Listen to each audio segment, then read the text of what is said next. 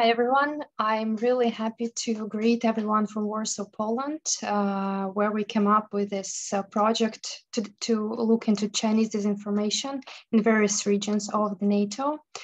Uh, as you probably all know, we are now, now experiencing quite a lot of uh, pressure here in Europe in terms of certain build-up, certain tension, but we still are very happy to go back to our webinars, to our expertise we want to share with you today. Uh, we already had a webinar on Central uh, Europe and Baltic states. To get, today, we're going to speak about uh, Western Balkans and uh, Black Sea region. We realized that very much and very often it has been not that much in focus when we were speaking about Chinese disinformation. This was the reason why we gathered today a fantastic constellation of uh, experts and uh, I'm Veronika Laputska uh, from GMF, and I'm really excited now to pass on uh, the floor to our to Alexandra Martin, to our uh, moderator. But before that, I would just like to share with you also that uh, this is a second webinar, and this is going to be the third webinar focused on Western Europe. So please stay tuned. And afterwards, we will uh, publish a big paper uh, where we will be looking on Chinese disinformation and how it's uh, operating in Central Europe, in Baltic states, and Black Sea region, and also in Western Europe. So please stay tuned, and uh, I do wish you great time and enjoy today. And we all hope that you're going to be active. Feel free to share your ideas, questions, anything. Alexandra, over to you. Thank you very much, uh, Veronika. Good afternoon uh, or good morning, depending, depending where you are tuning in from. And welcome to, to this webinar on Chinese influence and misinformation in, in the broader Black Sea region and the Western Balkans. Um, as Veronica mentioned, all eyes are on Ukraine, actually, and the exchange between Russia and the West the West, yet uh, other threats continue to loom uh, around and impact our societies and our democratic structures. Um, and that's the reason why uh, the, the series of webinars on Chinese uh, influence continue. I am in great company today uh, to discuss these topics, and I would like to express a, a kind welcome to Laura Thornton, Senior Fellow and Director, Alliance for Securing Democracy, the German Marshall Fund, coming, uh, tuning in, not coming, uh, virtually coming all the way from Washington, D.C., uh, to Sorin Ionita, President of Expert Forum, uh, tuning in from Bucharest, I assume, Romania, and Stefan Vladisavljev, uh, program coordinator of the Belgrade Security Forum, I assume tuning in from Belgrade. Uh, my name is Alexandra Martin. I am a Rethink CE Fellow with the German Marshall Fund and also an Associate Fellow with GlobSec. Um, just before we kick it off, uh, just a few housekeeping rules. Uh, we will be running for about an hour and a half. This is all on record. Um, please, please use the Q&A um, as a, in a chat box. So use a chat for uh, sending your questions and try to be as specific as possible in terms of the speaker that you're addressing it to. Um, do not uh, wait until we start the Q&A. I will be picking up uh, your, your uh, views and your inputs as, as we run uh, along. And without further ado, I want to kick it off and I would like to invite Laura um, to give us a bit of a broad view on what's going on uh, in, in the broader Black Sea region, but also in the Balkans, um, given that you're, you're heralding building the, the Hamilton uh, tracking uh, tool. Uh, Laura, to you. Great. Uh, thank you so much for having me. And uh, it's just a pleasure to be with such esteemed panelists. And thanks to GMF Warsaw for putting this together.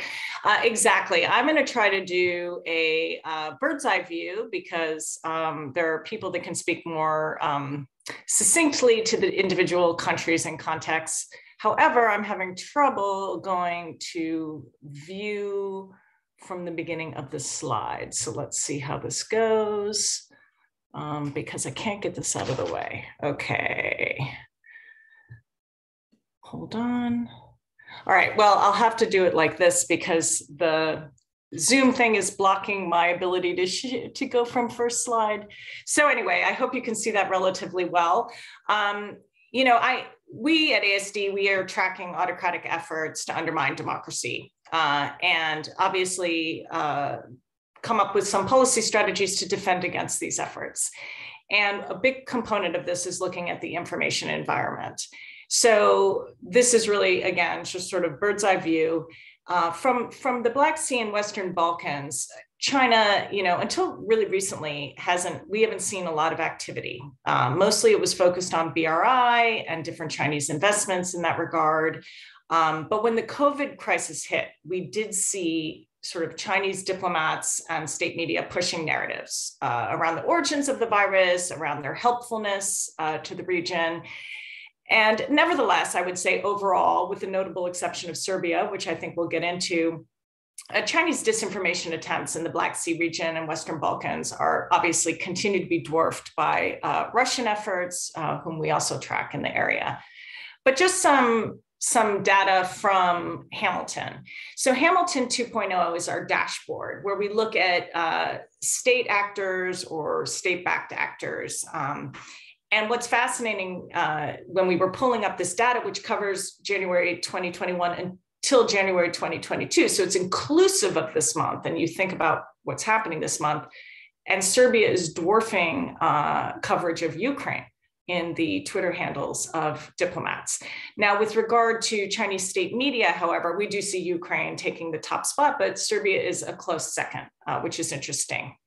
In terms of the narratives and sort of the greatest hits, we see, you know, praise of the Serbian president as, as number one. Then, you know, again, vaccine and COVID related messaging and spread of disinformation related to US biomilitary research, which I can get into in a bit. You know, for the Western Balkans, uh, there none of the major major Chinese news agencies or television networks like CGTN have uh, um, local language edition, which is really in contrast, for example, to China's efforts in sub Saharan Africa, where they have literally the largest network of reporters out of all the media present on the content continent. So that, that's very different. Um, so most of the success of Chinese disinformation is through the amplification by local media.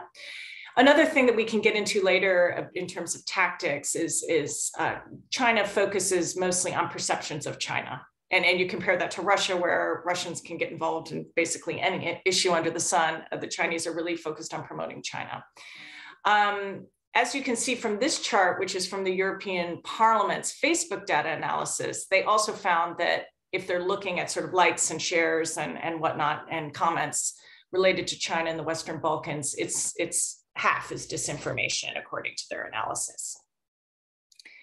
Um, I think we'll get more into Serbia later, but obviously uh, Serbia is the outlier here with regard to getting this disproportionate attention. Um, it's so successful in Serbia that we've seen it permeate to other um, Serbian speaking populations. China Radio International has such a significant uh, digital presence, and that is in the Serbian language. And it's broadcast by Welcome to Fun Radio, um, China Daily and CRI often have articles featured in Serbian newspapers. CGTN is on the menu for uh, cable networks. And, you know, Serbia's public broadcaster RTS does highlight Chinese cultural um, successes and a lot of the main narratives and we can go into this later but you know emotional connection with nato uh, bombing and the anniversary around that and then mask and vaccine um, diplomacy with the president kissing the flag or laying the first stone at the sinopharm uh, factory etc you know one of the things that we're really interested to do at asd is you know we talk a lot about disinformation malinformation misinformation and not have a really good sense of is it working? What's the impact? Who's believing it? Who's not? Public opinion polls are imperfect because we can't prove causality here. But it is interesting if you look at IRI's polling in Serbia that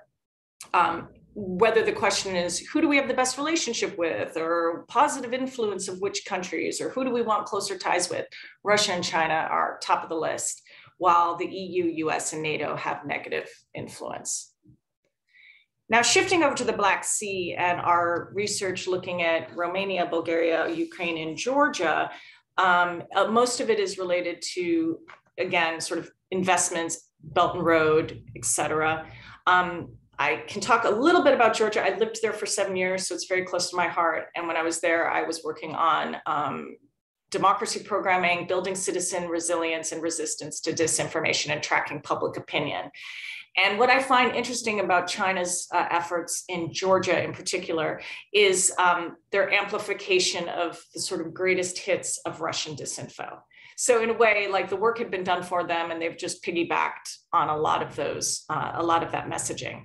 China also has a low profile multimedia page called For, uh, For You GE Georgia, which is owned by GBT Times, but nothing else really in that regard.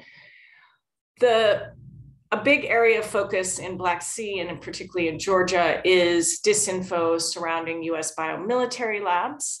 Um, you know, I Lugar Lab in Tbilisi has been just something that has been a source of narratives from the Kremlin for years. I've been tracking it um, and measuring public opinion about it. And now the Chinese actually recently put out a documentary about the Lugar Lab. They, of course, also included um, you know, information that disinformation about how COVID was created at Fort Detrick, a lab in Maryland. But anyway, what's fascinating about the documentary, the Chinese documentary, was then the Russians in turn amplified the Chinese documentary. So that symbiotic relationship. Um, I think I need to wrap up here, but just in terms of the public opinion that we did in Georgia, and we've done it um, elsewhere uh, when I was at NDI, the good news is, is you know, a lot of these myths around Lugar don't seem to stick. Uh, like you can see here from the COVID, does the Lugar lab spread coronavirus? Only 4% say that's the case. Uh, we have other public opinion data, which I can, I can share about common disinformation threads. Now, just before I close really quickly, because I, I feel like we spend a lot of time diagnosing problems and not talking about solutions, uh, I'm guilty too. Uh, I think, you know, in terms of looking at some successes, some of the things that I used to do in my previous work in um, the Black Sea region was working with NATO missions on creating national narratives and public diplomacy strategies.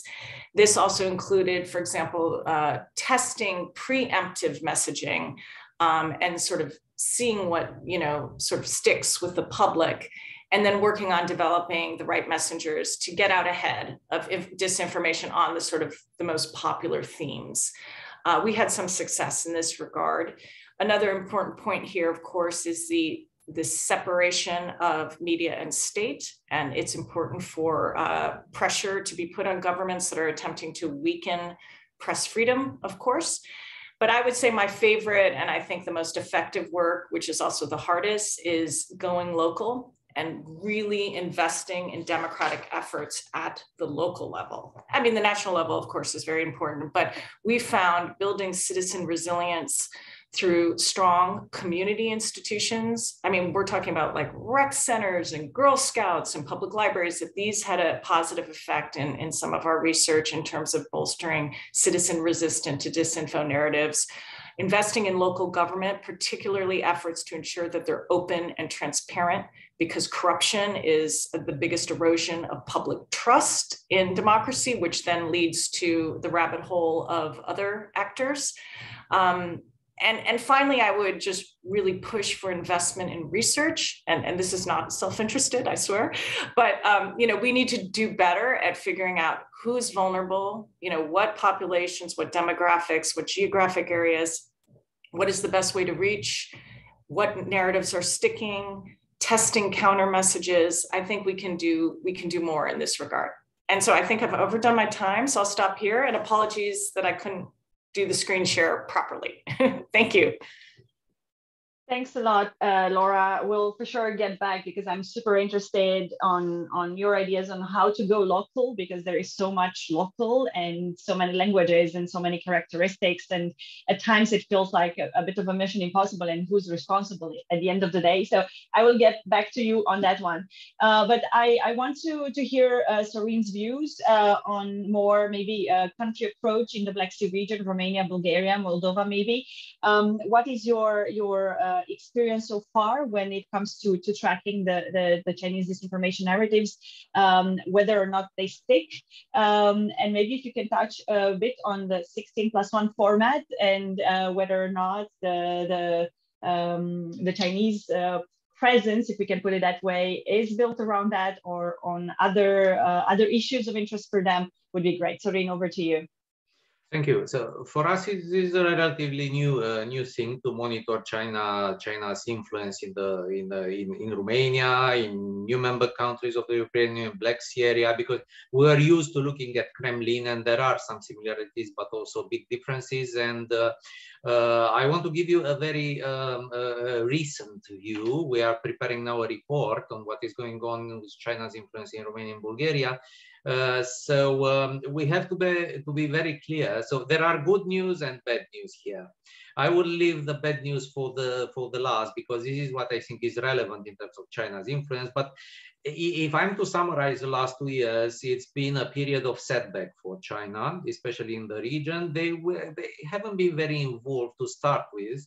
Uh, but the setbacks are obvious. You mentioned the 17 plus one, actually today the 16 plus one, uh, which is, uh, you know, uh, there's consensus among political elites in Sofia, in Bucharest, that it's been mostly hot air. There is dissatisfaction that uh, they promote, you know, trade relations very much. Uh, you can see much in the you know in the trade statistics that uh, that we we have achieved something. The bulgarians were especially uh, pissed off that they couldn't promote you know trade with agricultural goods um, and that was clear in the last in the last uh, summit. Uh, the Huawei uh, affair, I, I, mean, Huawei in a way, it was an exception, a big um, uh, company with interest in a technologically advanced domain, and they had a real interest in all the countries.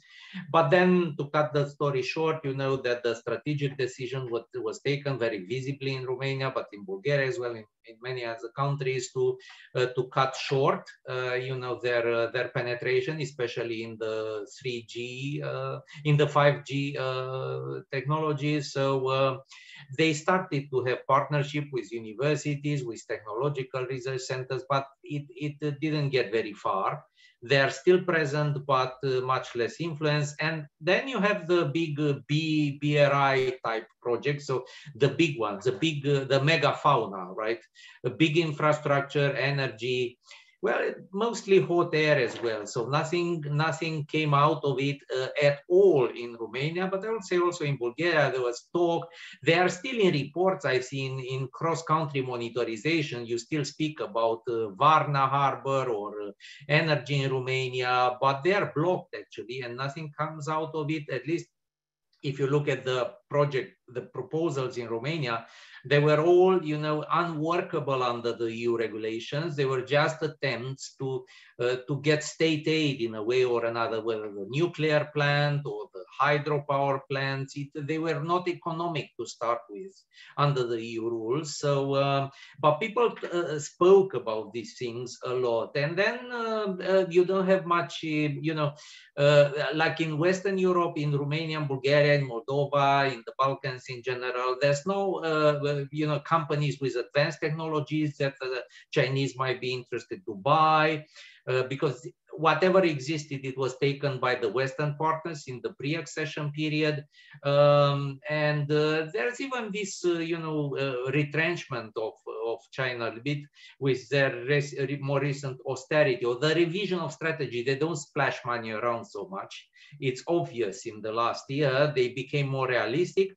Uh, then you have the Confucius Institutes. Yes, they exist. They have partnerships in universities, but to quote a very interesting remark by one of the professors uh, in Bucharest, uh, there's not enough proficiency in Chinese language in order for them to become permeable to propaganda.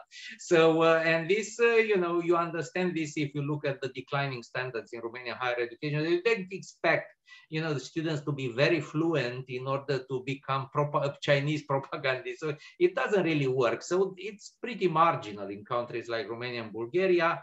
Uh, and there's one more obstacle, especially in Bulgaria today, because you have a, a party with significant presence in the Bulgarian parliament and the European parliament of the Turkish minority. And they are very outspoken on the on the Uyghur issue. Uh, and one of their MPs is part of this Butikofer group who was banned in China. So, uh, you know, there's a ferment in Bulgaria who keeps up on the agenda this uh, human rights issue for good or for, they are part of ALDE, so the European Liberal Group. So it's difficult to push this narrative uh, in, in the region. What is interesting, on the other hand, is what's going on below the radar. Local, a partnership with local and regional authorities yes, it worked, especially like last year on in, in this uh, COVID diplomacy push. And there are a lot of instances where they, uh, you know, uh, they managed to put up this propaganda show, especially with mayors, with uh, regional bosses. And uh, uh, what is more, in Bulgaria, they push very much tourists. So a lot of mayors of uh, Varna, Burgas, Plovdiv, they are very happy. They put up these events with the China's embassy to promote tourists. So to bring in Chinese tourists. And uh, uh, it seems to be successful to, to some extent. Uh, in some cities, the number of Chinese tourists is bigger than the number of German tourists, for example, and this is a new development. Uh, then the, uh, another vulnerability are the party links, which again, most of the time are below the radar and especially the how they hook in the youth organizations of the party. And we will try to expand this in, in our report, but we have examples of, uh, of politicians and not the old generation, not the old communists who were part, uh, who were members of the party, but especially younger generation who, you know, are permeable to these links and to the emoluments that come with, uh, with, uh, with these uh, activities.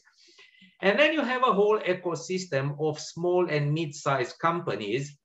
And this is really very diverse. And this is where the Chinese presence really exists in countries like Romania and Bulgaria. Sometimes they are on competitive uh, sectors, so there's nothing wrong on that, especially when they piggyback on Western investment. For example, when they bought the Pirelli group, the tire uh, makers, uh, this Pirelli group had operations in Romania. So of course the Chinese became owners of the operations in Romania. They continue to operate, they sell tires. I mean, I don't see much risk here.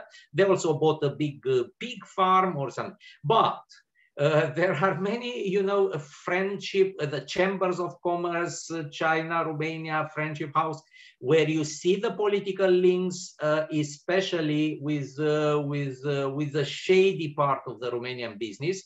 And this is a story to follow because apparently they function, you know, as a as an enabler. I mean, their natural counterparts are, you know, the the the people who who have uh, dubious businesses in Romania.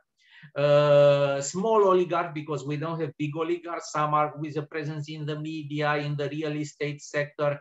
And, you know, it's like a natural attraction. There are companies, all the examples that we collected of investments are failures.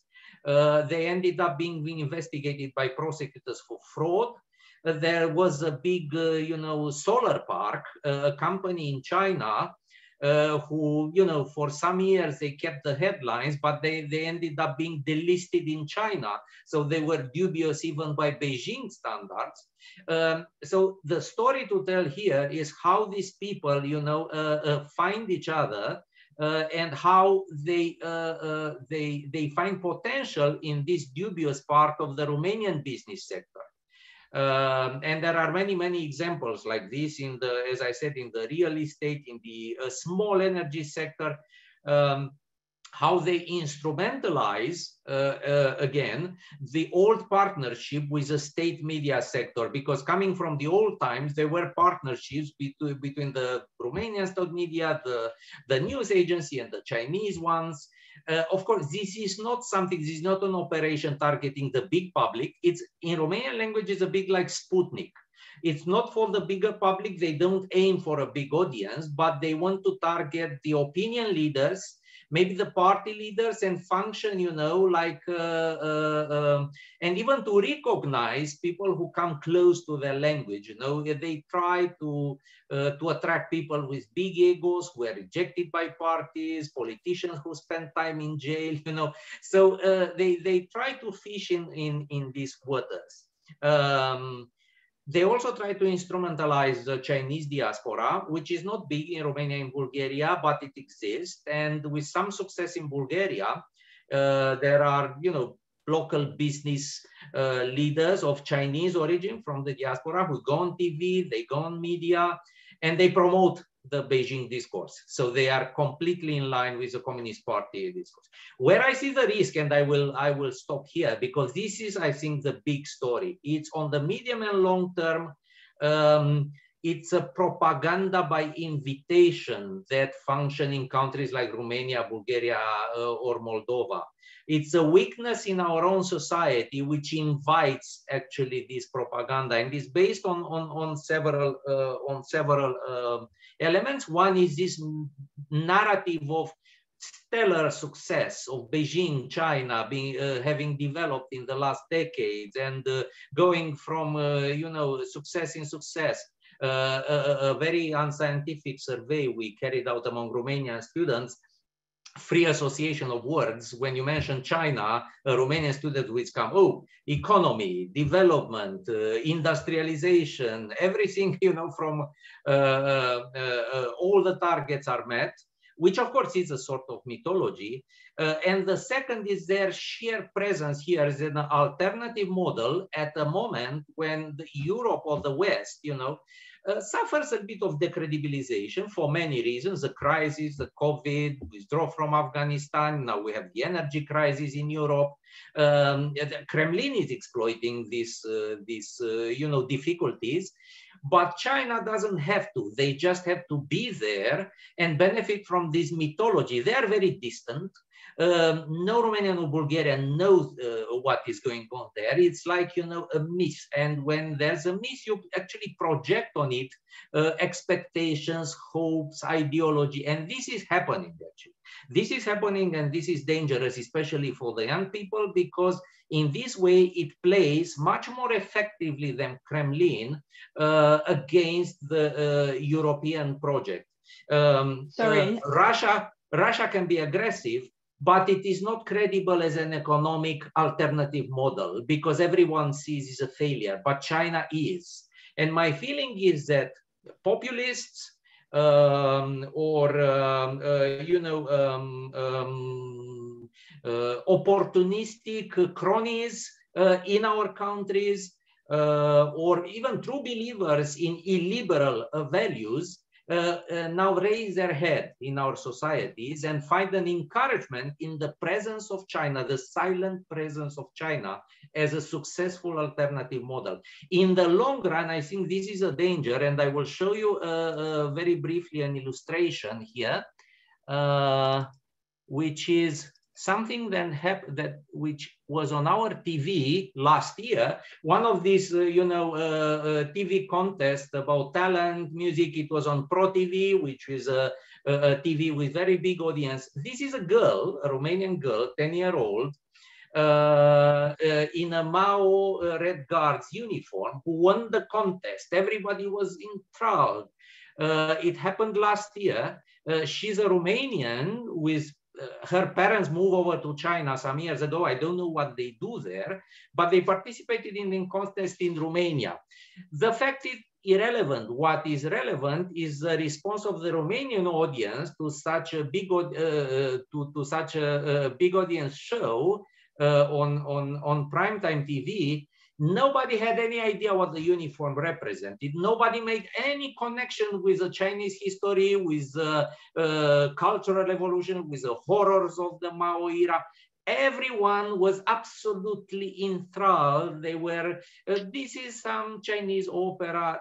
These were actually revolutionary sounds. So it shows you the ignorance and the terrain, which is very permeable to this, you know, uh, uh, attractive model of Chinese success. And I will stop you here, Sorin, because we are way, here. you're Thank way you. over your time, but I will get back to you on the solutions actually to fix this, because you, you said that the, the risk yeah. is on, on long term and how do we fix the the ignorance let's put it that way or how do we solidify the ground for for such uh, narratives not to be uh, taking off um, i want to move to you stefan to give us a bit of a view from the western balkans because what we saw from um, laura uh, from hamilton but also from sorin is that it's still in an incipient phase in the Black Sea region. Um, but there are there is a, a big difference in, in the Western Balkans, in particular in Serbia, but actually from, from my own research, also in, in places like uh, Bosnia and, and so on and so forth. So over to you, please stick to your time uh, so we can get back to, to the interactive part of,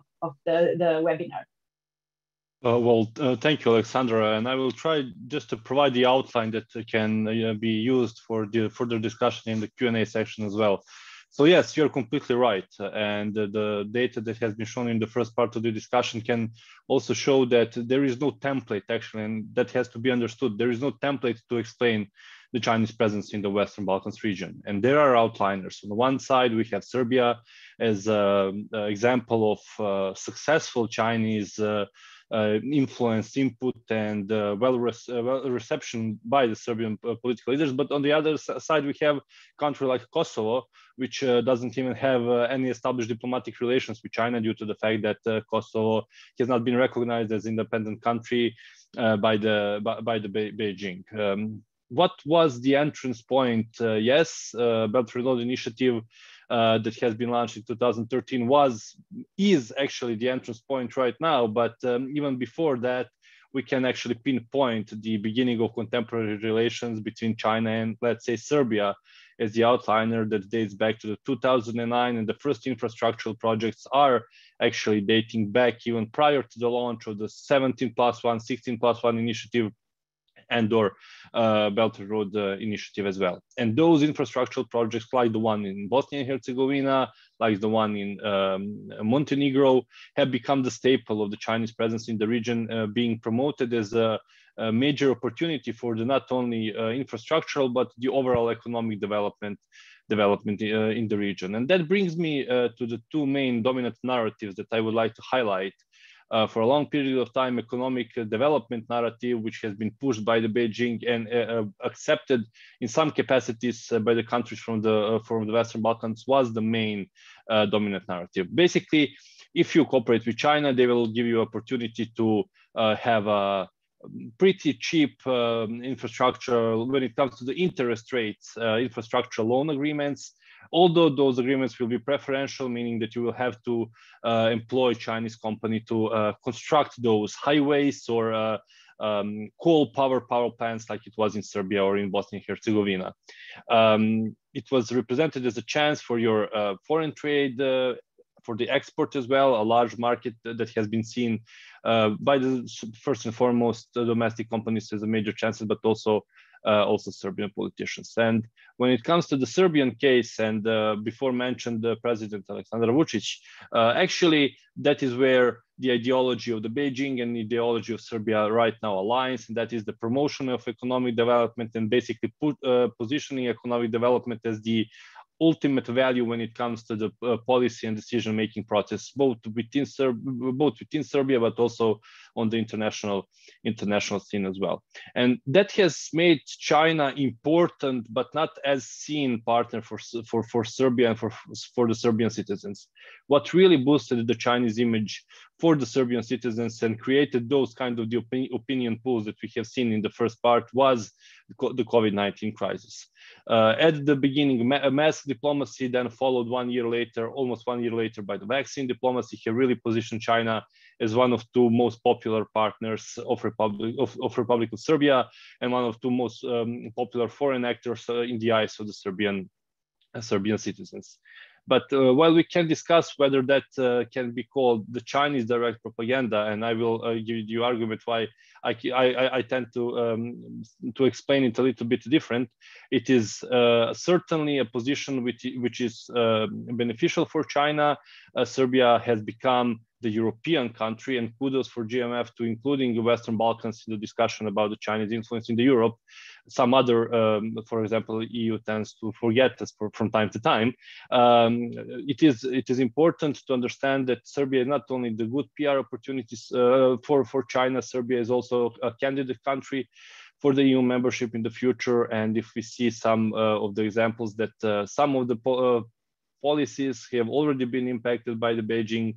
We can imagine what is potential uh, pot potential for uh, the uh, policy influence in if and when Serbia becomes part of the um, European Union.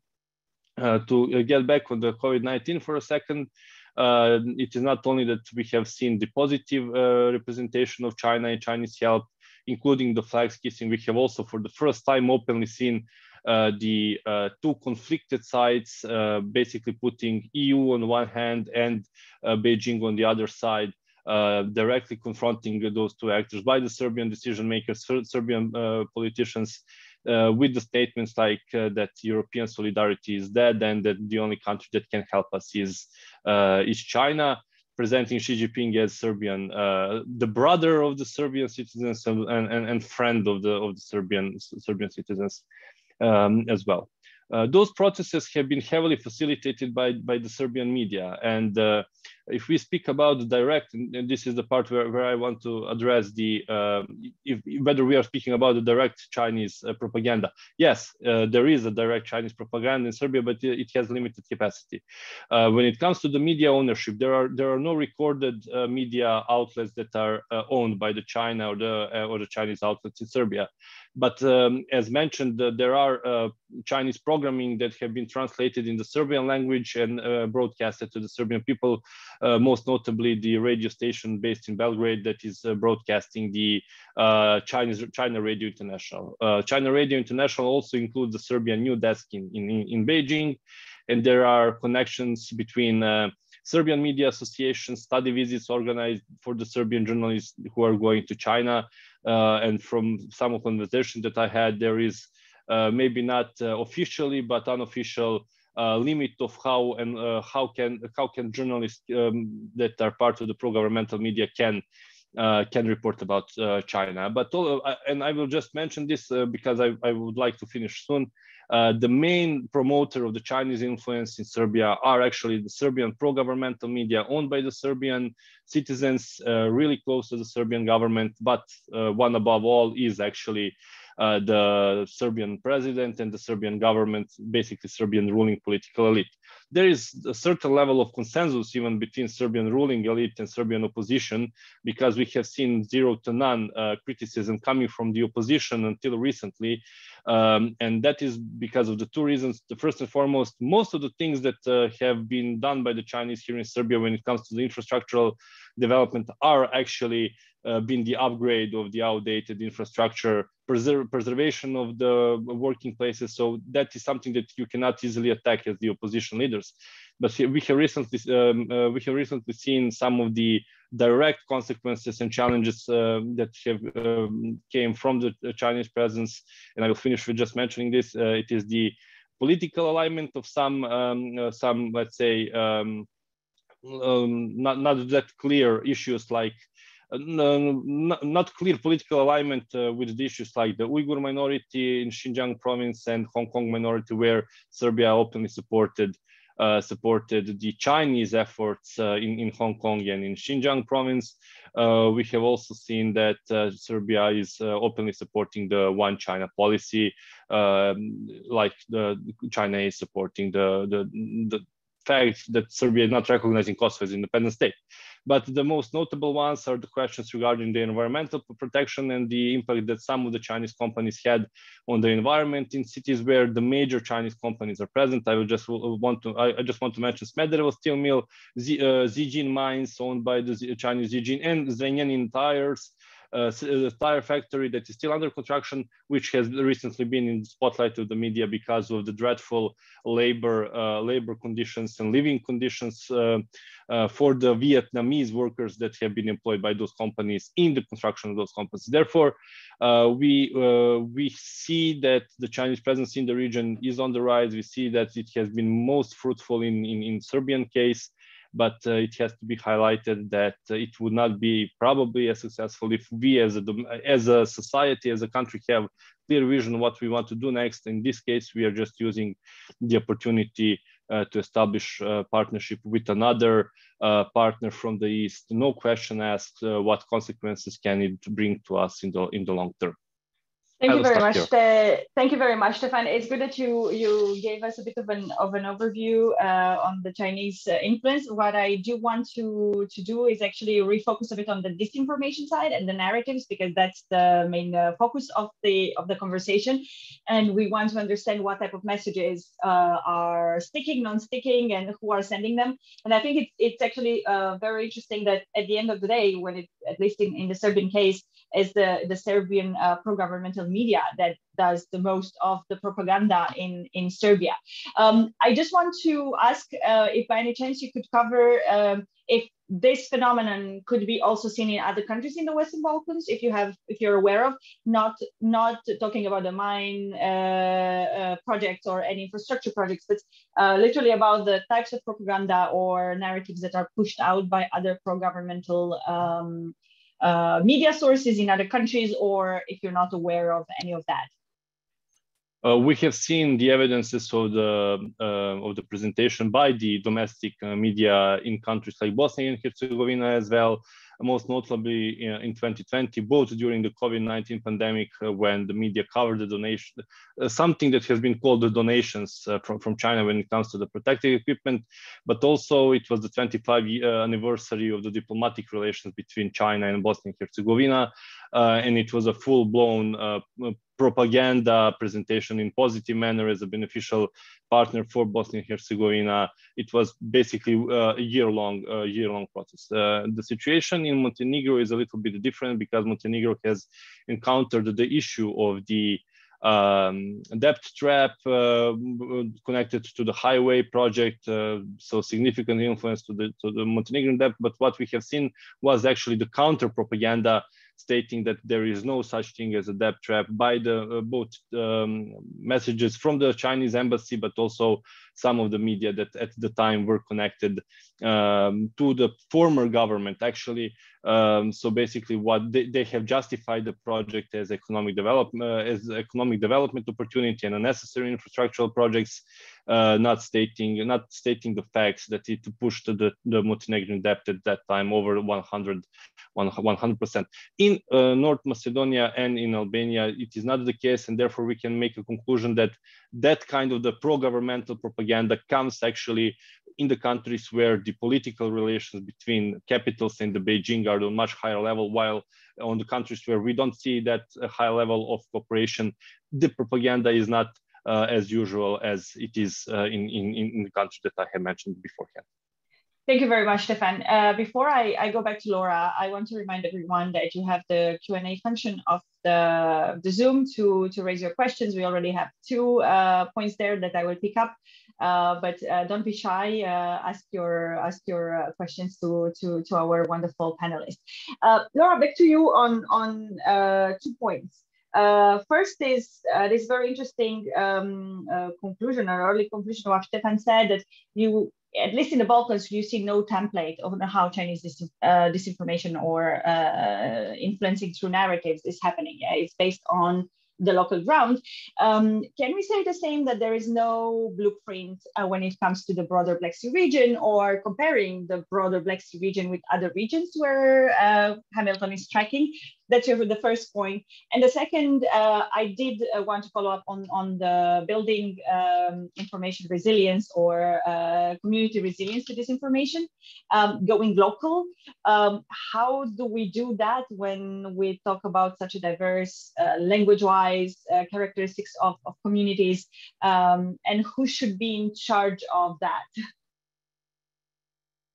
Those are good questions. Um, you know, on the on the first, sort of how does Black Sea region compare to other regions? Well, I mean, you know, we look globally. So compared to sort of Chinese, if we're looking, we look at influence ops. So we can look at, we can talk about, you know, emerging tech or, you know, supporting economic development whatnot. But if we look and they are linked by the way. I mean we can try to say to siphon out information operations and be like oh this is really separate from confucius centers or bri or investments in you know critical infrastructure. But it's all of course very linked because chinese information operations is is more narrowly focused around those other activities as opposed to getting into wedge issues about lgbtq communities which is like russia's favorite thing to do.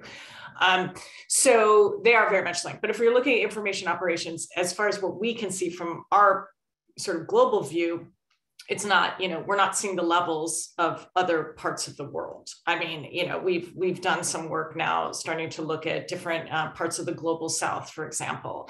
And if you look at you know the information operations around uh, the, sub-saharan africa it's it's it's quite extraordinary in, in the efforts that they're taking to get into local languages to have teams of journalists. As i mentioned they have uh, Xinhua has more journalists than pretty much anyone in the continent um, I lived for 25 years in Southeast Asia. I can tell you very well uh, the effectiveness uh, living in Cambodia, for example, how the information, Chinese information connected to what they were doing with investments. And as I think one of the other speakers said, you know, investments that, you know, do not benefit the Cambodian people, do not employ Cambodian people and, you know, have environmental consequences. So the public opinion is slightly different but anyway, so yes, so compared to Black Sea, and it's also different across different Black Sea countries, sort of dependent as what as far as we can see on on the level of engagement and trade and investment that they have in those countries. I mean, I'm most familiar with Georgia. Uh, in that regard, and we do see an increase in interest and investments, and there are Georgian groups that are tracking that. Now, on the second question about building sort of domestic democracy, um, obviously I wasn't suggesting a sort of cookie cutter approach here, but working with um, local democracy organizations, as well as uh, you know the important work that international democracy organizations play. Uh, you know, I worked for 20 plus years at the National Democratic Institute, and the investments in these activities at the local level to build um, basically you have to get to what Sorin was talking about, which is the, the model, right? So this is a governance model, you know, which is going to deliver equity and growth. And unfortunately, democracy is not having the best week or month or year in that regard in proving that it can deliver. Uh, and that's that's why we unfortunately see it's one of the reasons we see backsliding all across the world is, uh, you know, democracy is not living up to its promise, political corruption, everyone's really despondent and angry. What are other alternatives? And, and that leaves a nice big vacuum for a Chinese narrative that comes in and says, hey, look at us. You know, we've pulled how many millions of people out of poverty? Uh, by the way, we're going to invest without any strings, which of course is nonsense because I've seen the strings and they're pretty horrid for countries. Um, but you know they're more hidden strengths. It's not like oh you have to get better on human rights and election reform or we're going to pull aid. They're different strengths. Uh, you know you're going to have to trade only with us. You're going to have to vote with us in the un about this uh, this this issue. Oh by the way here's some surveillance equipment so you can clamp down on your political opposition.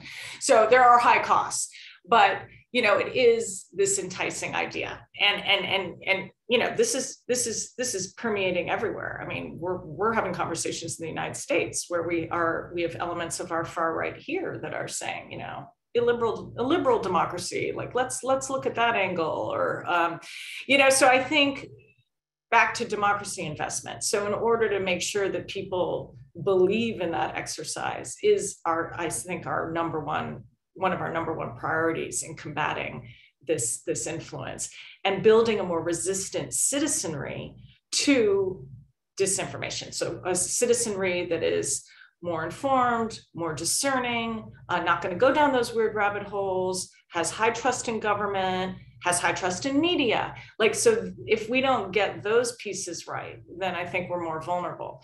Um, so I'm, yeah, I'm, I think investments in there's tons of excellent democracy organizations in all the countries we're talking about. Like let's support them. There's local media organizations in the countries we're talking about. Let's independent local media let's support them. There's civil society let's support them.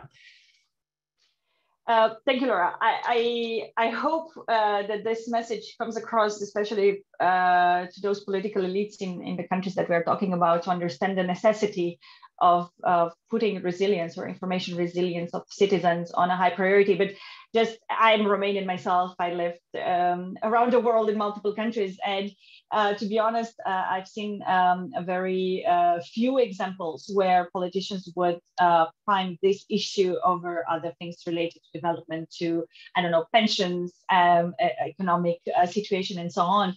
Um, so I'm just afraid that at the end of the day, uh, there's always a trade-off, and um, the the idea of investing uh, into uh, building this type of resilience is not ma making the cuts necessarily.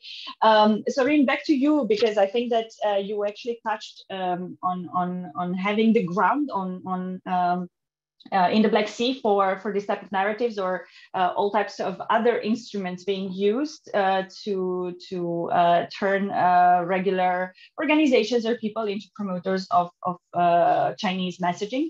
Um, and I'm, I'm just wondering, how do we contain the risk I don't think that we can fix it. I don't think we can stop it. Um, maybe it's not even a good idea to, to have this as an end goal, but how do we contain uh, this risk on the medium and, and long term? How do we ensure that even though uh, people should get to understand um, China, just to know the risks at the end of the day, how do we make sure that that's not turning into an anti-Western, anti-EU, anti-NATO um, perspective on a long term?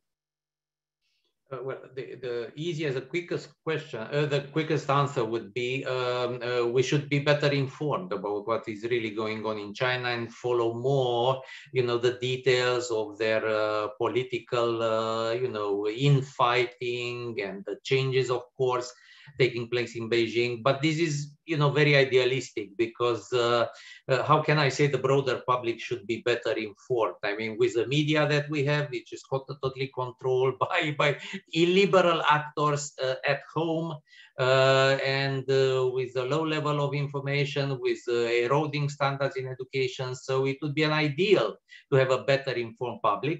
Um, but uh, in the long term, this is what we need to do actually to fix our own weaknesses because it's like a water mattress, you know. They are successful when we are weak, is a European and uh, with the Atlanticist project.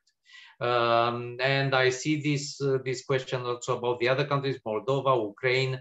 I think now uh, the, the point, the the the in, the flash of interest for the Chinese propaganda is obviously Ukraine because of the security situation there.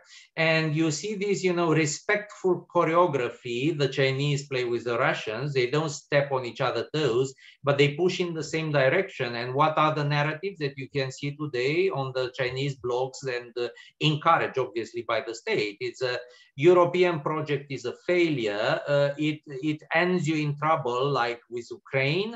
Uh, NATO is an aggressive organization trying to occupy countries. By NATO, you read Americans because this is a, and then you play into the hand of the anti-American discourse with a long history, you know, in the, in the third world or in China. Uh, and the, the, the, Ukraine today, uh, you know, is a is a, is a, is an emergency for Uh, for Chinese propaganda, and it has a reverberation in other Soviet uh, ex-Soviet countries where the Ruski Mir is present, and one of them is Moldova for obvious historical reasons because they are very permeable to Kremlin propaganda. They speak the language, you know. They have these internal actors who to push the illiberal discourse.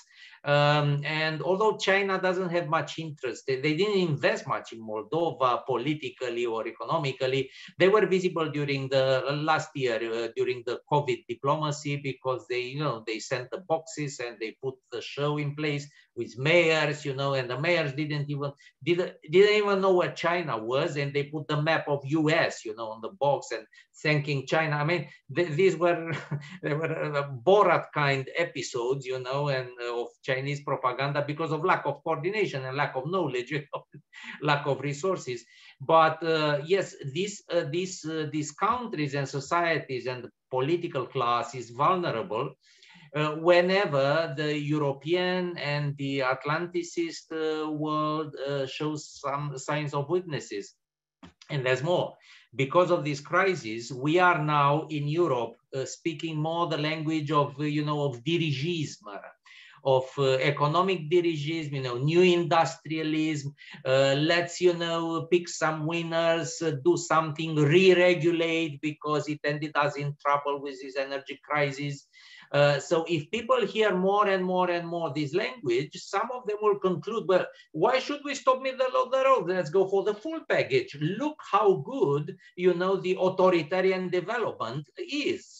Uh, how nicely it works in China. So of course we should be more aware and speak more often about the causes of the problem, uh, about what is going on in Beijing, uh, what are the weaknesses of the Chinese development model, uh, but in order to be able to do this, we need to fix our media environment.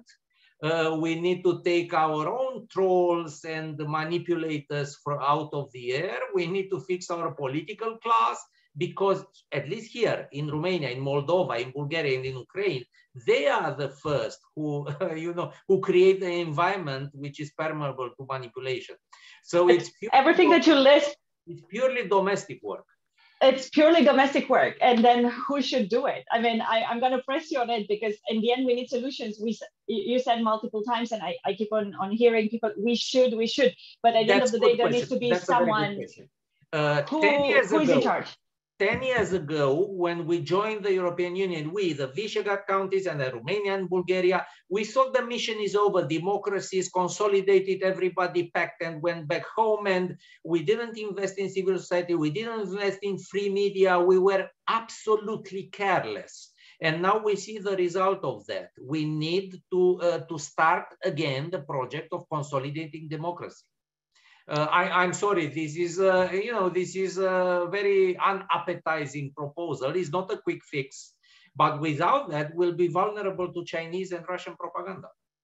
So I think that uh, we need to go back to EU funds and USAID funds and other type of organizations because um, I don't know. Why USAID? We are members of the European Union. I mean, there's plenty of money, and there are very, you know, good and uh, successful projects uh, with 10 million euro in Western Balkans. We just don't pay attention to them, and I don't think people in Brussels realize how important it is uh, or maybe they realize, but they don't they don't have the right instruments because EU really has a problem uh, when it comes to soft power, to to helping to fixing media problems, uh, to helping civil society.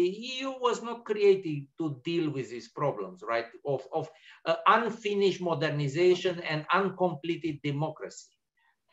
Uh, thank you, Sorin. I want to move to you, Stefan, because I think that uh, Serbia is also a very interesting case among the, the Balkan countries with support for the EU. It's just uh, the, the, lowest uh, public support to join the EU, and that maybe uh, it's interesting how that perception is influenced by alternative narratives.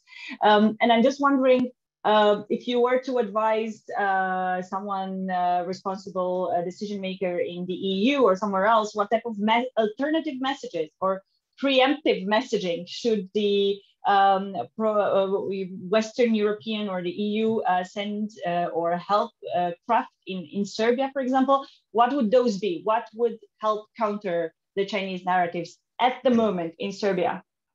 Um, thank you for that question. And uh, look, I was thinking during Sorin's statements a little bit before. I'm not gonna bash EU. I'm not gonna bash EU when I when I start talking I'm gonna bash the EU a little bit. Uh, uh, look, if um, a country like Romania or Bulgaria are feeling like that, that they're being left aside a little bit because they have basically reached whatever they they needed to reach 10 years ago, you can imagine the feeling that countries that are not even in the part of the European Union have right now.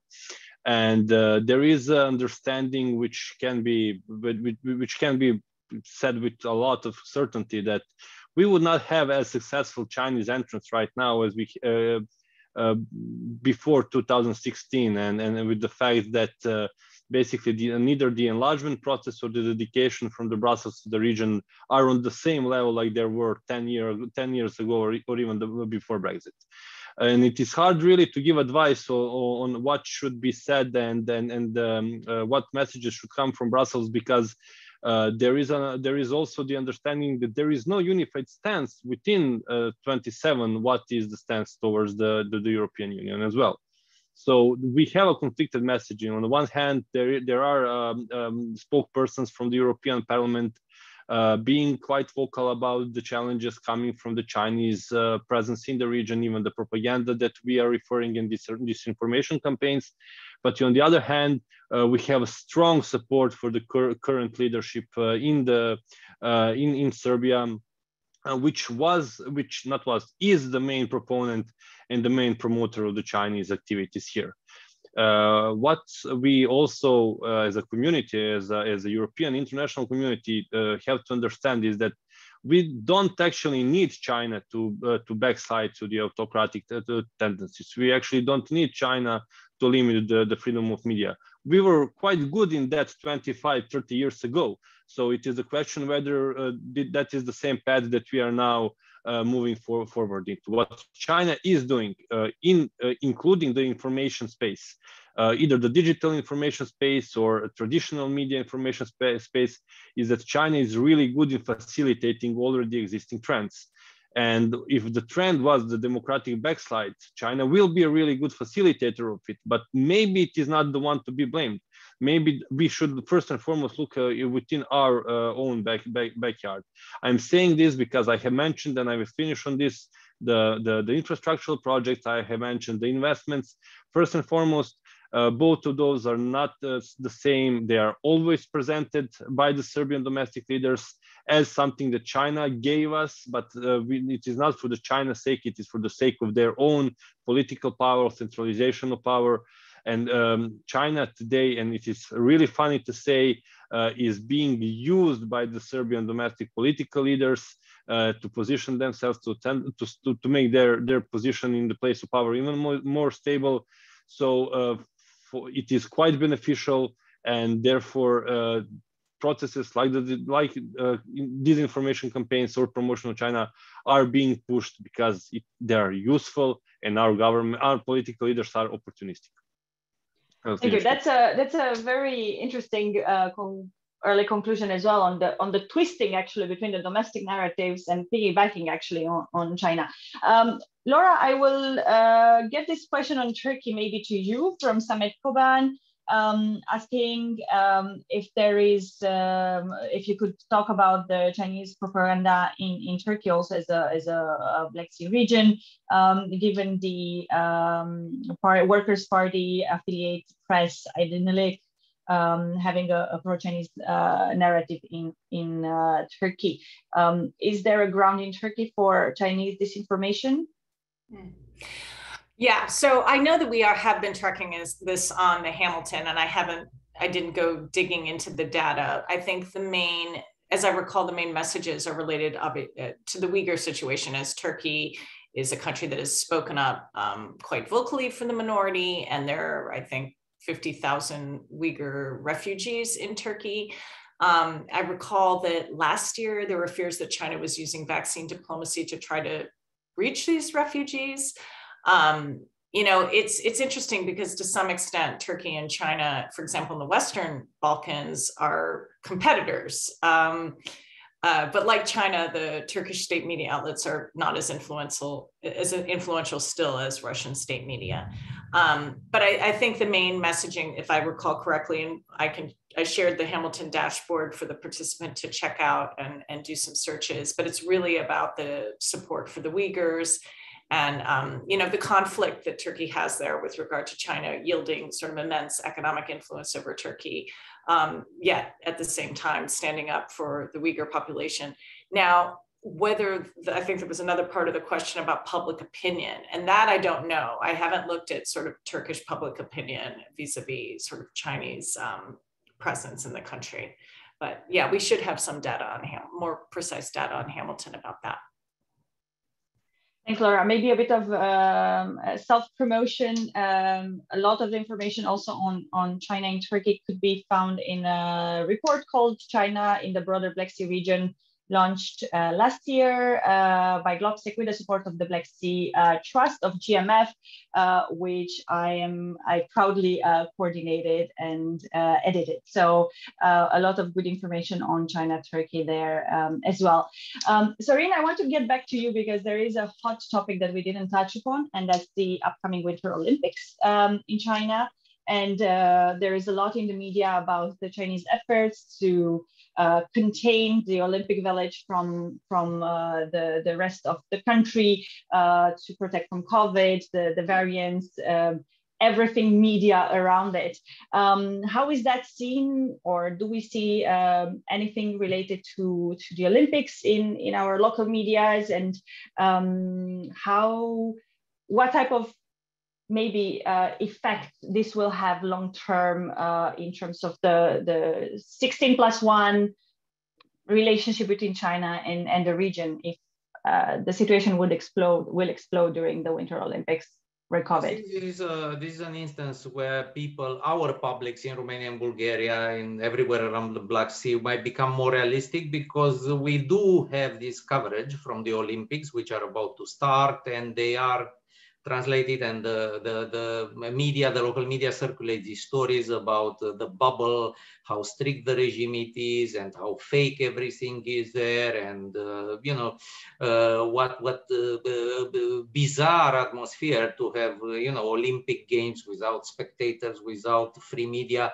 with internet completely blocked and controlled. So what's the point to have such? I mean, this is not Olympics in the old spirit.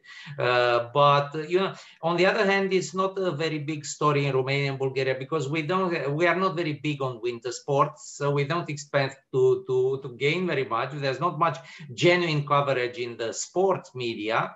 I think we'll have a delegation Romania and never been discussed very uh, uh, uh who's going there and what. I think we have about uh, two dozen uh, uh, athletes who go there and a lot more officials as usual because they like to, to, to, to free ride on a vacation. And I think the Minister of, of Sports of Romania will go there, but I, I guess I'm not sure he will compete in Paralympics because he was a former sportsman who lost a leg and uh, well that's okay. So the political representation is not very high from romania. I'm sure it's the same situation from from bulgaria and comes into the uh, you know the uh, the story of this uh, disappointment about uh, 17 16 plus one thing. So there's not much engagement in this it's just among other it's reported among other stories how how bad it is and how controlled uh, the the life of the athletes there is and how they cannot use their mobile phones. Uh, so in a way it is a start. So people to for the broader public to become more realistic and understand how things work in china. Uh, we should have had at the on the in europe a more uh, a more focused discussion uh, what is the point of having the, these big sports events other than you know uh, feed the pockets of the sponsors? Uh, why are we still uh, why are we taking part after all right? Why don't we organize something more uh, uh you know Uh, uh, alternative events to have the athletes uh, engaged because i think we'll have more and more of these uh, episodes in the in the future because you know the, the, the developed countries and the big cities of the of the developed world are are cooling down to these big events who turn out to be more of a nuisance and not much and not bring so many uh, you know economic advantages as people say. So we'll see more and more dictatorships or or or, or you know these uh, uh, fake uh, uh, places they build especially for such an event somewhere in the middle of the desert for for the big sport event. So, so so you don't think that the Olympics will become an Olympic diplomacy moment uh, for for China? I think it's difficult. It's difficult, and I'm as much as I follow the the Beijing propaganda these days, they don't invest much uh, much effort in it because they realize it's not selling well to the Western audience.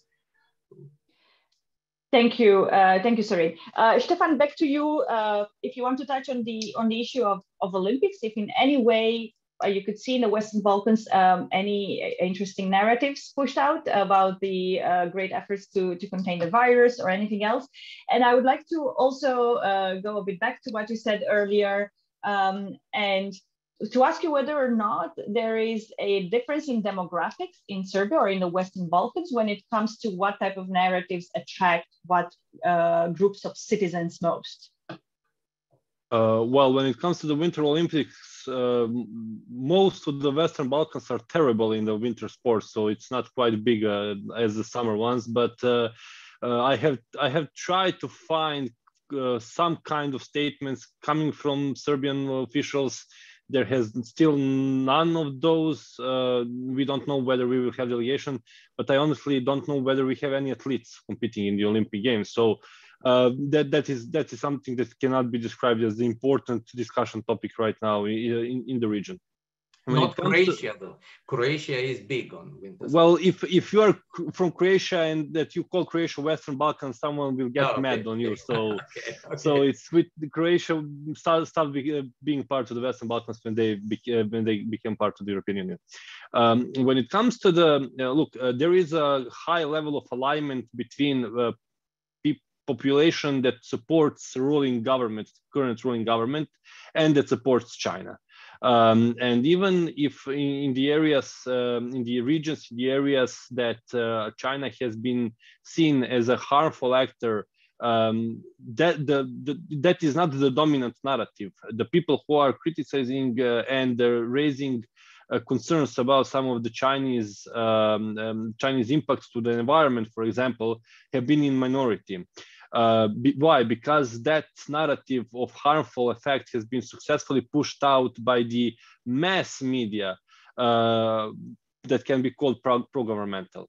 Um, the independent media uh, uh now um, reach is now limited in Serbia. It is it is um, um, it is basically couple of internet portals and couple of cable uh, cable news uh, news stations that, that you where you can hear some of those concerns and some of those objective criticism pointed towards the Chinese, but uh, through the pro-governmental media, the dominant narrative of the overall Chinese positive impact to the Serbian economic has been uh, has been pushed.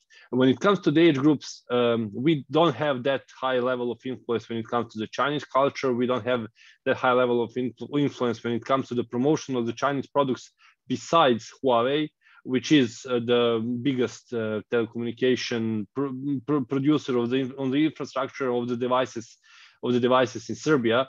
Uh, but when it comes to the when it, what we can see, uh, we, we there is a possibility that we will see a shift in that because uh, the Chinese Cultural Center is about to be opened in in Serbia. Uh, it is a gigantic building in the same spot where the Chinese embassy was destroyed in the NATO intervention in 1999 in Belgrade. So it has also that historical and symbolical significance to the partnership between Serbia and China, but it will also become probably the center of the Chinese culture. And therefore we can say the, the, the center of the uh, Chinese promotion as well, uh, which will be uh, which will include the Chinese language lessons, cultural programs, sport events, even promotion of the sport events, uh, because right now the popularity comes through the popularity of the of the ruling of the ruling elites uh, and um, uh, it, it, depends it depends basically on that fully. Um, they have not pointed uh, their uh, campaigns towards certain age groups. They're doing catch-all because their their main promoter our ruling elite is doing that exact same thing Thank you, Stefan. Uh, Laura, I have a question um, maybe related to the US administration or the US decision makers and how they do they look at the Western Balkans, Black Sea region when it comes to, to Chinese uh, disinformation efforts. Um, we know about the uh, Clean Network Initiative and uh, the Summit of Democracies and everything else. But I'm just wondering if there is something that you could feel from, from the Hill or from, from the administration that um, there is a renewed focus or how, how is that perceived in, in DC? Yeah, that's a good question. I, I mean, I think there is a focus in general uh, on uh, the sort of information integrity more broadly. Uh, I mean, as it applies to China, as it applies to Russia, as it applies to domestic uh, uh, information operations. Um, and there has been a big, you know, focus with regard to foreign aid, for example, in supporting efforts abroad to sort of bolster defenses. Uh, the Summit for Democracy, I actually just was on a meeting for the Summit for Democracy, and that actually came up as, as in the commitments. We're doing an analysis of the 100 countries' commitments. Um, and you know the information space came up and foreign interference in general came up as a as a as a common concern and therefore a commitment to do something about. I didn't i didn't analyze it by region yet but uh, you will be making some analysis uh, public of those commitments Uh, so I do think there is an interest. There is increased funding for activities to support efforts to, um, you know, for public diplomacy efforts that I was talking about. And NATO, for example, I, you know, worked very closely with uh, the NATO mission when I was in Tbilisi. Also, the U.S. Embassy supported efforts, as well as the British Embassy, for that matter, on, you know, supporting public opinion polling that we did or working on strategic communications with the government or working on this issue of of you know getting out ahead of some of these narratives. So that was that's interesting. I also think that um, what, what what i think is happening less is that you know we've looked at it as this problem over there and obviously our own country is being um, torn apart uh, by uh, disinformation mal and misinformation in the US, I would say less so from, I mean, China is definitely very present here, particularly on the COVID issue. Russia is, is extremely involved in our very most sensitive wedge issues, uh, from trans girls in sports to LGBTQ rights to, you know, education and school boards, everything. Um, and I think that, you know, we haven't focused as much on sort of what do we do about that here.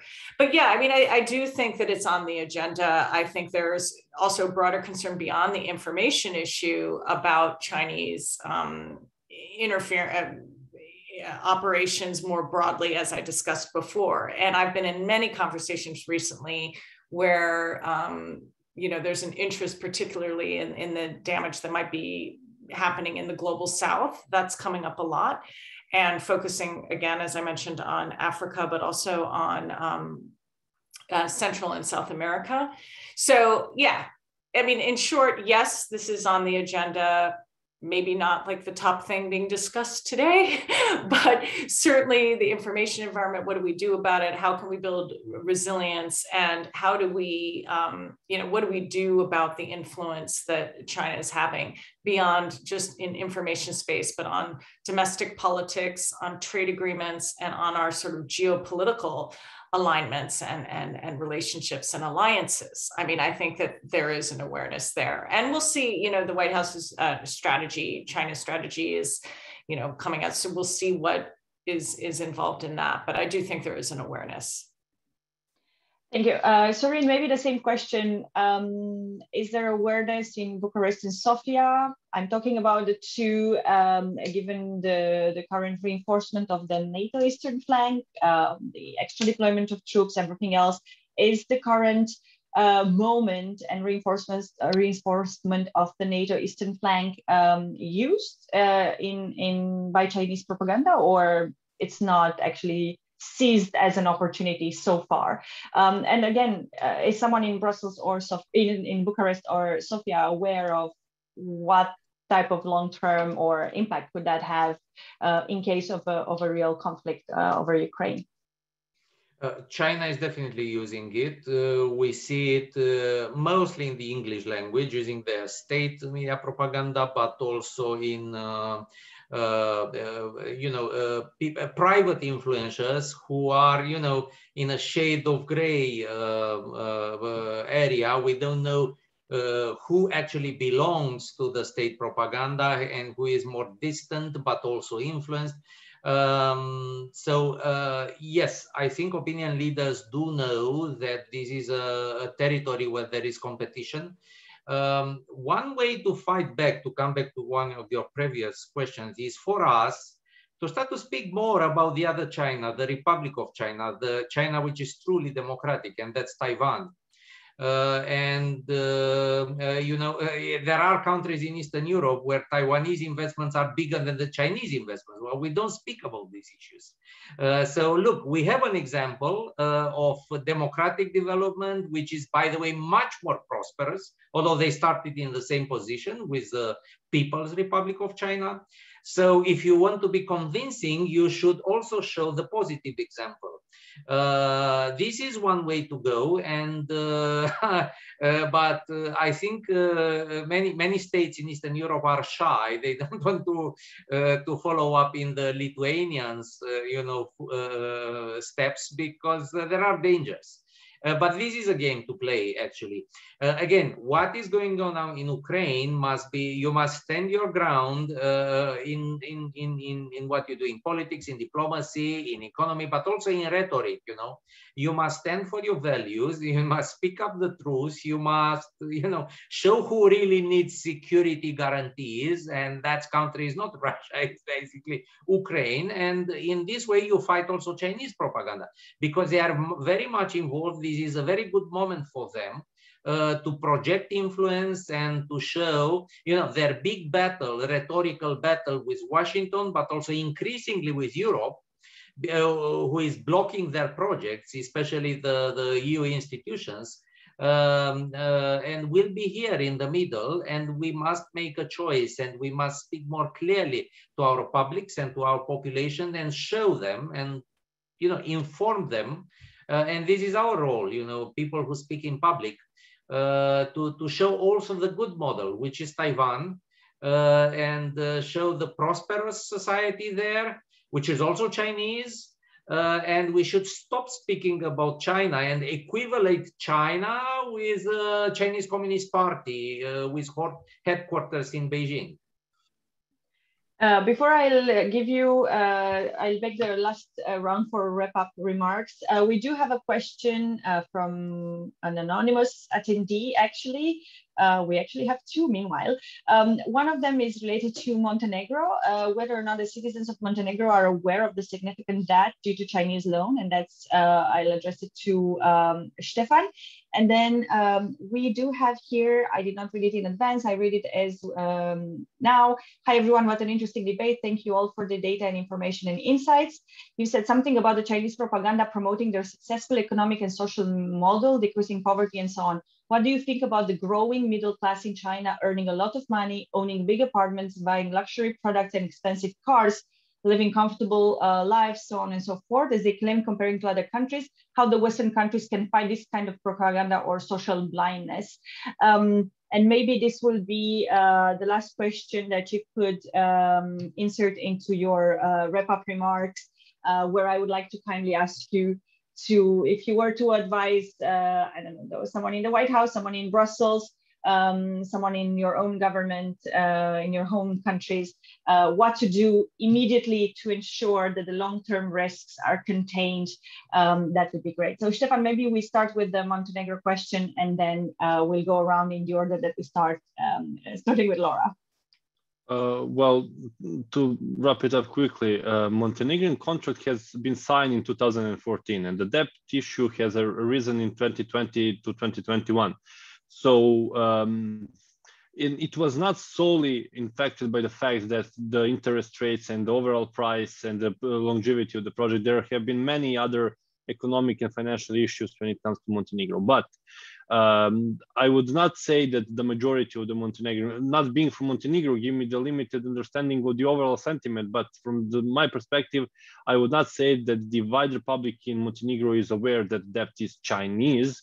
Uh, they, they are probably aware that there is a debt because it, uh, it the story was heavily politicized uh, by the new government that have even reached out to the European Union and received prompt and SWIFT no when they plead for the help in the repayment of the debt toward the Chinese, which actually, actually Chinese used to uh, reestablish the cooperation with the Ministry of Finance in Montenegro and uh, even announce some of the new cooperation project. Therefore, uh, I would say that uh, I would say that uh, um, they they are expecting they are expecting the highway to be beneficial, but also they are expecting uh, for for the, the, government to find a solution to the debt crisis, which they apparently did, but uh, it was not so in the broader public the sentiment. I would not say that it was connected to the Chinese. I would say that it was connected to the previous government that uh, signed the contract with the Chinese. Thank you, Stefan. Laura, for wrap-up remarks, back to you. Thanks. And I'll try to incorporate that last question, which is really interesting. And it comes back to, I think, the points that both Sorin and Stefan were making about, um, you know, messaging. And um, one of the things I think we've learned in the information space is that, you know, post factum um, corrections are important. I mean, we need to do fact checks, but it's a little bit of a whack-a-mole. So I, we need to also focus on those preemptive messages. And I think those preemptive messages can be offensive and defensive. So on this issue that the question, uh, the question that just came up, you know, okay, what do we do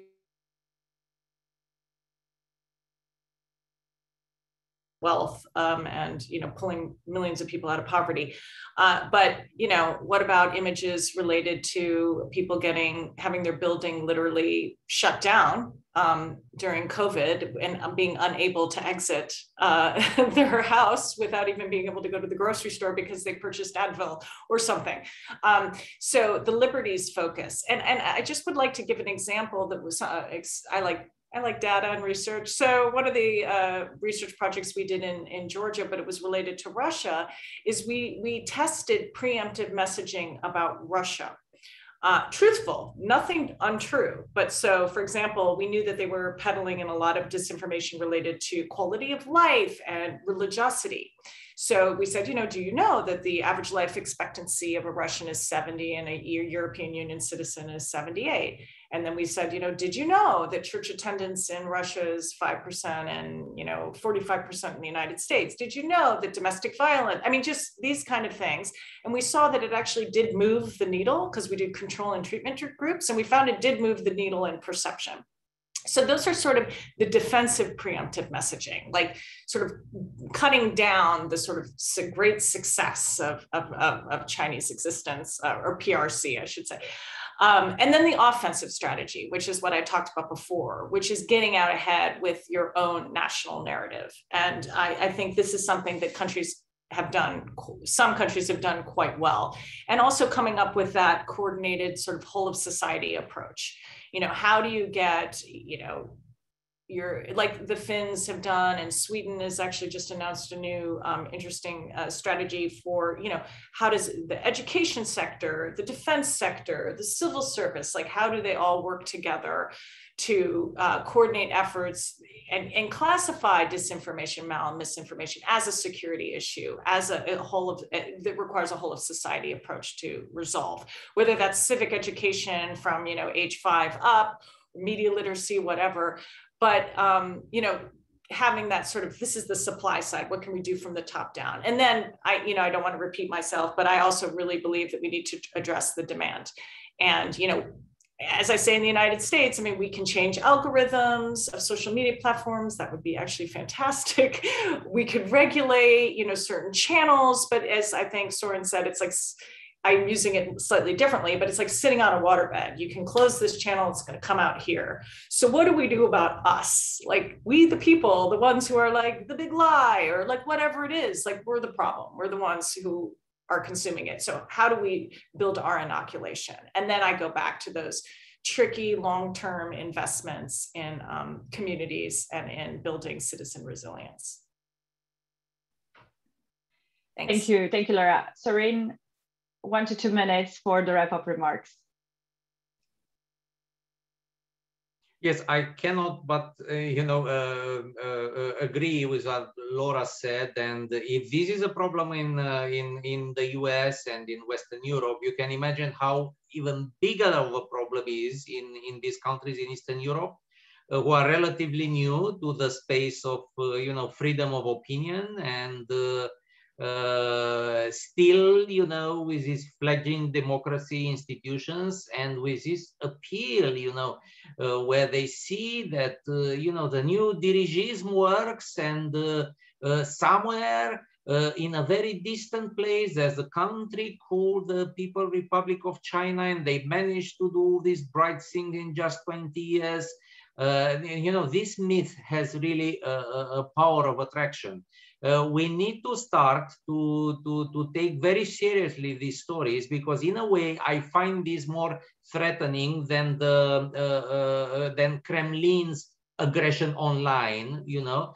Uh, we have an experience we have a history with russia here in the region we know what to expect from them in a way and uh, although they are uh, they are feared they are not credible as an alternative model of society. But China might become, it is not yet there, but it might become if we are not careful, you know, to debunk this myth and to show you know, the ups, which are real, indeed, they pulled out of poverty million, uh, tens of millions, right? But this is normal in a society coming out of the awful 70s of the Mao, total social and economic disaster. is normal to have fast growth for a number of years and then it levels off and then they start to have problems you know of uh, balance and uh, everything is very normal we need to learn of all, all these things and get out of these uh, you know fantasy stories Thank you, Sorin. And uh, one to two minutes for you, Stefan, as we are running out of time. Um, as focused on a solution uh, as possible. Um, all of the processes and all of the developments that we were focusing on tonight, tonight uh, will continue to mirror the levels and the nature of the societies and the government in the Western Balkans region. Uh, to put it like this, if the country is pro-EU and if country feels that there is a clear future of the European integration, clear benefits from dedication to that process, then the success of all of the processes that we have mentioned can uh, be uh, put under, let's say, control or uh, can, can be mitigated. Therefore, uh, the region needs a clear European future. It needs clear and defined steps ahead. It needs uh, additional uh, additional work on the overall awareness about certain issues, awareness of the disinformation campaigns at all, not only from one or uh, this or that actor. Um, we cannot do this by ourselves. Uh, we uh, we are already receiving and sh should continue to receive support in uh, successful implementation of those processes, and we should uh, we should be uh, aware and and and, and we we should be assured that without that uh, we, ha we have a tendency uh, to backslide to some of the um, levels of democracy that cannot really be seen as uh, colorful in the sense that uh, we would like to see them. Uh, and with this, uh, I would like to officially wrap it up, uh, thanking you all for these wonderful contributions. I hope that our audience also gained interesting insights uh, from the Black Sea, extended Black Sea region and, and the Western Balkans. Uh, if there is one thing uh, that really stick to my head is this power of attractiveness. And I think it's down to each one of us in our respective roles to try to change that power of attractiveness to, to ensure that the risk, short, medium, and long long term is, is contained. Um, thank you, GMF, for inviting me to, uh, to moderate the conversation. Uh, maybe I hand it back to you, Veronica, to give the information about the, the next series uh, or the next webinar in this series. Um, again, thank you all very much and have a wonderful afternoon or uh, evening, depending where you are. Veronica. Thank you so much, Alex. Uh, thank you very much, uh, Laura, Stefan, and uh, Sorin for these wonderful inputs. And thank you very much, audience, for being so engaging. Uh, there has been questions about Western Europe, so this is going to be exactly the topic of our next conversation. So we'll be able actually to analyze what is being done in Western Europe in terms of, of dealing with Chinese disinformation and uh, um, one thing I also would like to stress is that, of course, now we all are overwhelmed what is happening in uh, between Ukraine and Russia, and we all have been looking into Kremlin disinformation, but let's not overlook and let's not undermine what is happening, what is coming from Beijing. It's, it's equally important. And uh, with this, uh, I am wishing you as well a very happy afternoon or a very happy evening. And we're really looking forward to seeing you in a few months. So stay tuned and uh, GMF will definitely let you know about the next webinar on Chinese disinformation in Western Europe. And I've also shared with you uh, research done by East Center. It's about resilience to disinformation coming from Kremlin and Beijing with featuring also Ukraine, Georgia, Moldova, and Armenia, and Azerbaijan, among other countries. So if you're interested, also feel free to see. Thanks so much, everyone. Thank you, Alex, for incredible moderation. It was, it was fantastic. Thank you. Bye.